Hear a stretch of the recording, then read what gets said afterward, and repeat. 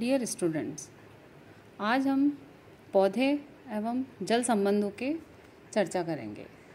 जैसा कि सब जानते हैं, पर्यावरण के विभिन्न कारक पादपों की प्राय समस्त जैविक क्रियाओं को प्रभावित करते हैं। किंतु यह भी सत्य है कि पादपों द्वारा पर्यावरण भी प्रभावित होता है।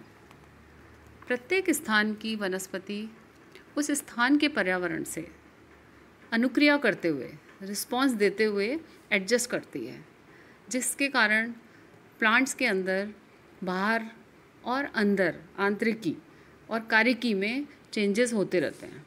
इस अर्थात पौधों में वातावरण के अनुरूप ढलने की क्षमता पाई जाती है। इन परिवर्तनों के कारण पौधे कोई विशेष वातावरण को सहन करने में, स्वयं को नष्ट होने से बचाने या उनसे अधिकतम लाभ प्राप्त करने की क्षमता अर्जित कर सकते हों।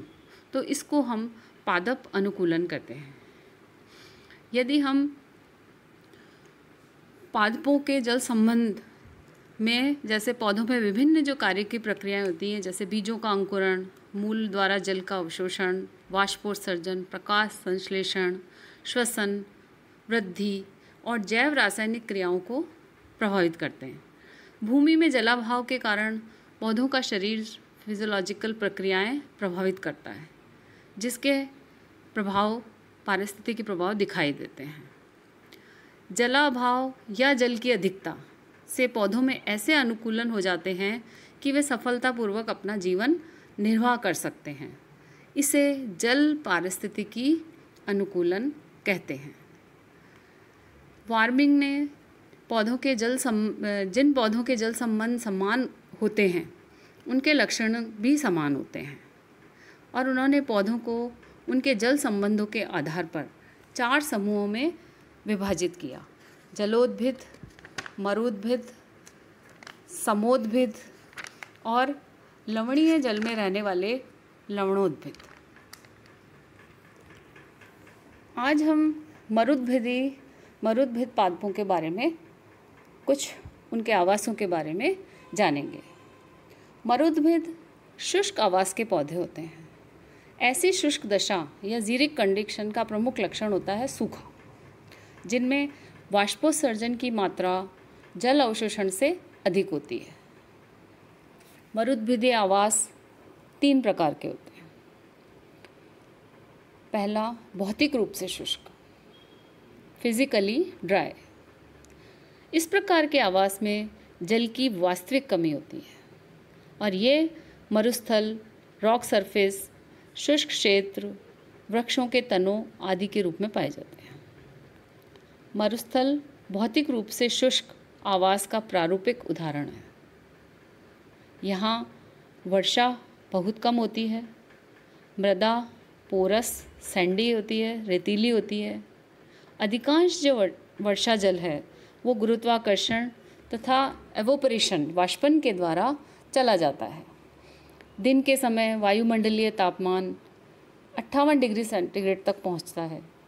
मृदा तापमान पैंसठ डिग्री तक पहुँच जाता है और उच्च तापमान के साथ साथ शुष्क हवाएँ भी यहाँ का लक्षण है।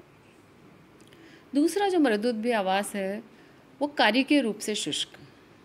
कार्य के रूप से शुष्क आवास में यहाँ जल की मात्रा तो होती है, पर्याप्त होती है, लेकिन पौधे प्रतिकूल अवस्थाएँ होने के कारण, प्रतिकूल अवस्था यानी जैसे लवणों की अधिकता, अम्लीयता तथा कम तापमान के कारण उसे अवशोषित नहीं कर पाते हैं। जिन स्थानों पर मृदा तापमान कम होता है, ठंडे मरुस्थल कहलाते हैं।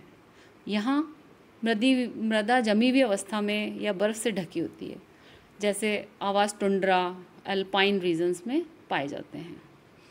कई बार कार्य की शुष्कता कुछ आवश्यक तत्वों जैसे जिंक या मोलेब्डिनम की अनुपस्थिति के कारण भी होती है। तीसरे प्रकार का आवास जो कि भौतिक और कार्य की रूप दोनों तरह से ही शुष्क हो, इन आवासों में पानी की वास्तविक कमी तथा पौधों द्वारा उनके अवशोषण की असमर्थता दोनों ही कारण उपस्थित होते हैं। ऐसे आवास ऊँचे पर्वत की ढलान पर पाए जाते हैं। मरुद्भिद शुष्कता से बचने के लिए प्रत्येक अनुकूलन प्रदर्शित करते हैं।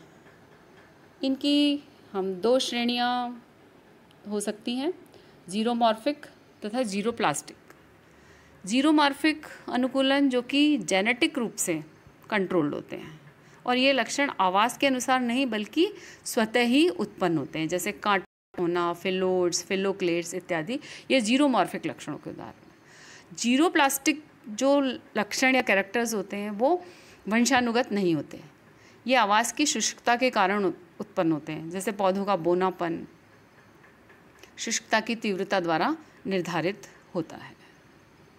मरुद्भिदों को शुष्क आवास के पादप भी कहते हैं। वैसे मरुद्भिदों की सही परिभाषा देना कई बार कठिन होता है, लेकिन फिर भी वे पौधे जो ऐसी भूमि में उगते हैं, जिसमें सामान्य ऋतु में भी दो सेट डेसीमीटर गहराई तक भी जल उपलब्ध न हो मरुद्भिद कहलाते हैं। एक ओपन हेमर के अनुसार, ऐसे पौधे जिनमें आकार की शारीरिक व शारीर क्रियात्मक ऐसे अनुकूलन या रूपांतरण हों कि वे वातावरणीय जलाभाव में भी जीवित रह सकें तो मरुद्भिद कहलाते हैं। आज हमने देखा कि मरुद्भिद किन किन, किस तरह के आवासों में रहते हैं। अपने नए लेक्चर में मैं ज़ीरो फाइट्स के वर्गीकरण पर चर्चा करेंगे।